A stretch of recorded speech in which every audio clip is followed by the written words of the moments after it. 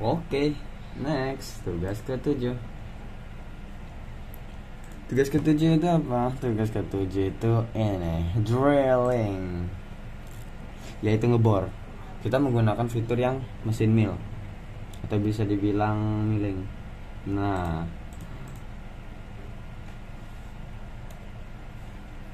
untuk milling ini berbeda dari sebelumnya yang face. Kita harus menggambar dulu yang kita ini apa namanya ya intinya kita gambar dulu lah. Mana ya? Nah. Kita bikin tingginya oh ini kan? 100 eh 50 aja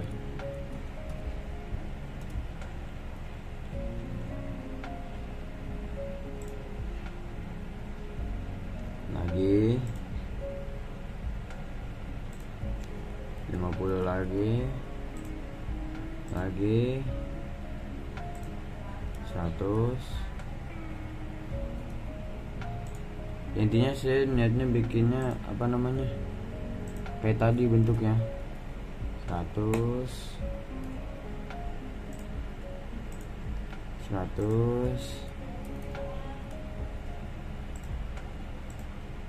nah ini tinggal disambung oke nah ini kita lihat nah setelah itu kita bikin bundaran-bundaran di segala macam 10 uh, gede banget. Gak apa terus lagi.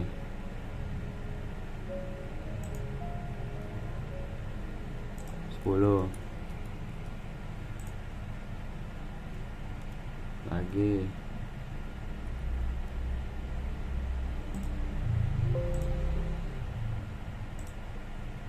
sepuluh. Lagi. Sepuluh. Lagi. Sepuluh. Nah udah anggap aja kayak gini benar nah lalu seperti biasa kita bikin meal default menggunakan mesin milling. Stok setupnya kita atur hmm, bisa langsung ini sih?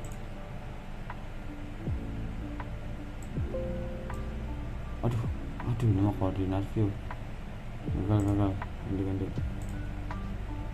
Hmm, ini bisa diatur ya? Coba ya mulai oh my god bisa.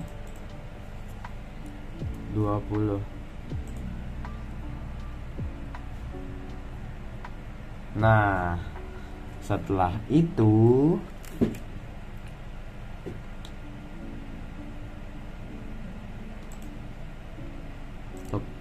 setelah itu langsung kita menggunakan tool fat yang drill. Namanya bebas ini saya kasih nama T aja T udah udah bawa dari sana nggak usah ribet-ribet. Nah kita langsung pilih entities.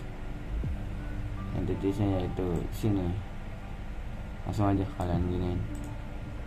Pasti berhasil. Oke. Okay. what the hell is going on happen in here? I don't understand.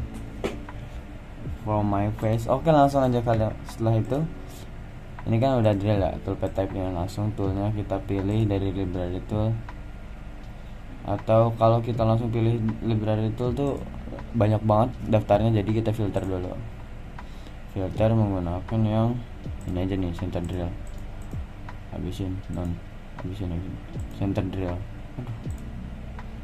Nah setelah itu oke. Okay. nah kalau udah digituin kita cari di select library tool. Dia itu nah jadinya dikit kan? Oke. Okay. kita pilih diameternya berapa? Diameter berapa ini? Oh 10 diameter 10 oke. Okay. setelah itu ini holder udah benar ini cut parameter apa aja yang salah ya? Oh ini aja nih kita ganti nih. Eh nggak usah ding. Nih ini aja nih kita ganti nih. Linking parameter kita pakai clearance. Salah absolute absolute saya lebih suka absolute nah kedalamannya. Kedalamannya berapa? Kedalamannya 10 lah ya.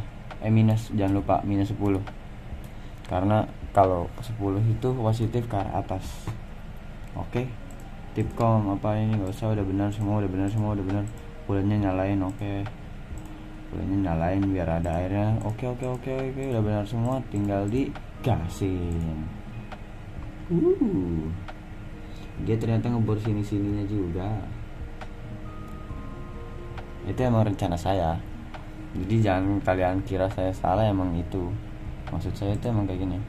Oke langsung kita lihat isometric di fit di jangan cepet-cepet. Langsung di play ngoeng ngoeng uh di bor-bor ngoeng di posisi sini di posisi sini di posisi sini di posisi sini di posisi sini. Ngoeng ngoeng ngoeng ngoeng oh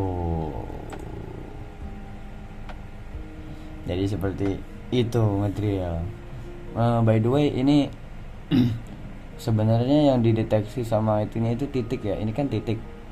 Ini juga didetek. Jadi sebenarnya uh, bu kalau kalian gak kasih lingkaran cuma kalian kasih titik doang dia juga ngedrill. Oke? Okay? jadi sekian dari saya Jauhar yang paling hebat dalam menggunakan master cam. Bye bye goodbye and thank you Ciao.